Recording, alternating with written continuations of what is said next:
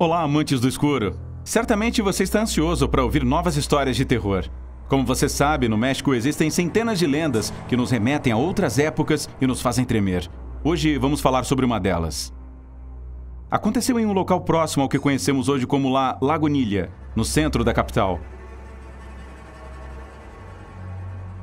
Era uma noite escura, mas tranquila, em que o padre Agustin Aparício se dirigia a um encontro com alguns de seus paroquianos e amigos.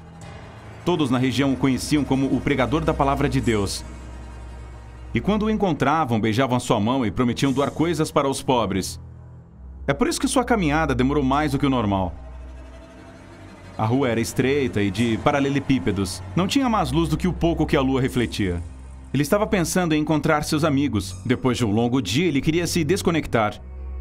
Normalmente jogavam cartas e até apostavam alguma coisa, mas eram frequentemente interrompidos pelas reclamações dos vizinhos. Ele continuou andando e de repente ouviu os passos de alguém que o seguia. Já tinha atravessado as ruas mais movimentadas. Era estranho que alguém o seguisse tão perto e com pressa. Ele não olhou para trás porque era um criminoso que queria chamar a atenção. Ele continuou dando um passo firme em direção ao seu destino. Mas logo ele saiu da dúvida. Uma voz de homem gritou para ele: Padre, com licença! Ele virou a cabeça e viu dois meninos perturbados. Ele respondeu perguntando o que estava acontecendo, então eles lhe disseram que havia uma mulher morrendo perto dali que queria se confessar. Ele nunca tinha visto esses jovens, mas sem dar desculpas, o padre concordou e pediu que acelerassem o passo. Ajudaram-no a subir uma carroça que o esperava e disseram ao motorista para levá-los até a casa daquela mulher. Eles passaram por várias ruas e, quando chegaram ao destino, ajudaram o padre a descer e bateram na porta. Uma senhora baixa e desgrenhada, com o rosto para baixo, abriu a porta para eles. Ela carregava uma vela acesa e as roupas que vestia eram muito velhas. Em poucos segundos, o padre detectou um cheiro nauseante naquela casa, quase insuportável. Mas ele se concentrou em seu trabalho e a mulher o conduziu até a sala onde estava a moribunda. Antes de entrar, a velha deu a vela ao padre e o deixou sozinho. Dentro do quarto, ele encontrou uma mulher deitada na cama.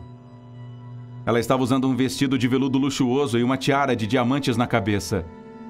Tudo estava repleto de belos bordados, porém, o que mais se destacava era a beleza do seu rosto e os cabelos loiros que estavam espalhados no travesseiro.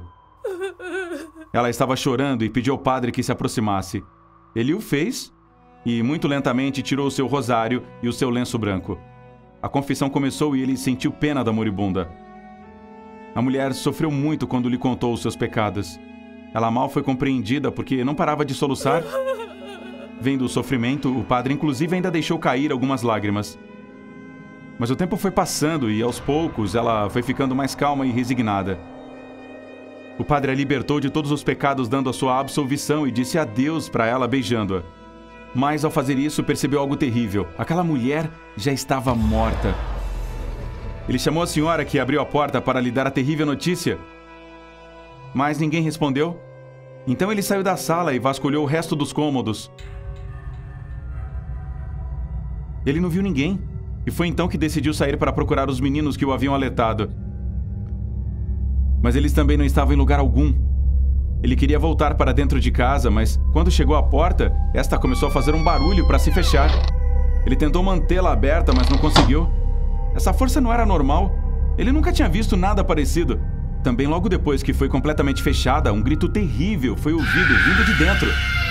Ele estava totalmente desconcertado, não entendia nada. Assustado, ele se retirou do local para se encontrar com os amigos. E a essa altura, eles já deviam estar preocupados. Ele acelerou o passo o máximo que pôde. As ruas estavam escuras e muito solitárias. Ele entrou na casa onde a reunião estava sendo realizada, pálido, com o rosto franzido de medo. Alguns dos presentes começaram a perguntar o que estava acontecendo, enquanto outros apenas brincavam que ele havia se atrasado por medo de perder as apostas. Ele ficou em silêncio por um tempo tentando se recuperar sob o olhar atento de seus amigos. O suor escorria pela testa. Ele tinha feito o caminho de volta quase correndo. Então ele enfiou a mão no bolso para pegar algo para se secar. E aí ele percebeu.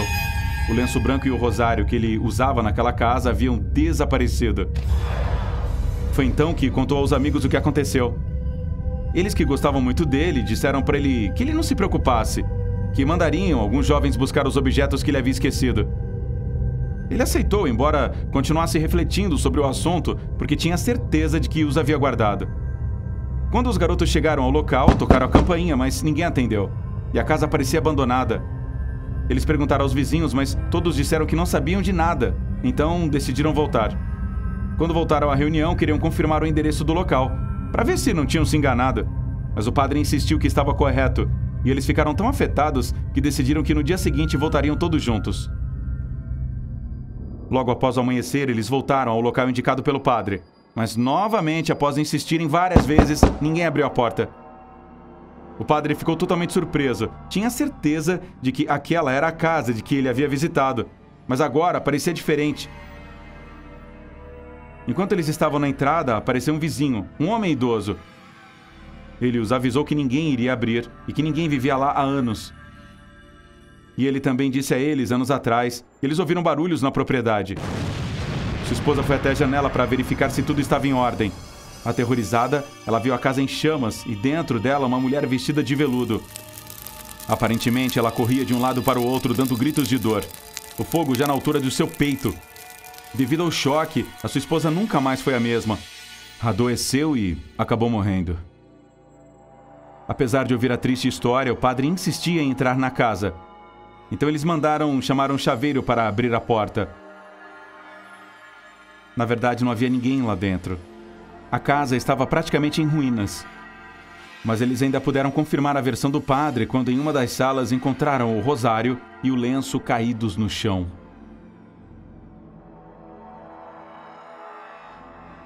Além disso, eles encontraram algo ainda mais desagradável: o cadáver podre de uma mulher com várias partes do corpo queimadas que, como o padre havia indicado, usava um vestido de veludo e uma tiara de diamantes. Um arrepio percorreu pelo corpo dos presentes quando começaram a ouvir murmúrios. Era o padre Agostinho, que não parava de rezar. Eles olharam com atenção e descobriram que seus olhos tinham uma cor estranha e uma espuma estranha saía da sua boca. Logo, ele desabou no chão. Havia morrido.